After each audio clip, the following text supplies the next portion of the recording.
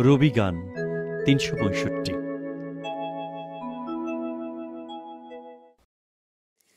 যখন তুমি বাঁধছিলে তার। প্রবাসী পত্রিকার অগ্রহায়ণ তেরোশো একুশ সংখ্যায় গীতিগুচ্ছ শিরোনামে মুদ্রিত। সাত থেকে আঠাশে ভাদ্র তেরোশো একুশ এর মধ্যে সুরুল এবং শান্তিনিকেতনে রবীন্দ্রনাথ এই গানটি সহ একত্রিশটি গান রচনা করেন। রচনাকাল এগারোই ভাদ্র তেরোশো একুশ। আঠাশে আগস্ট উনিশশো চোদ্দ। স্বরলিপিকার দীনেন্দ্রনাথ ঠাকুর।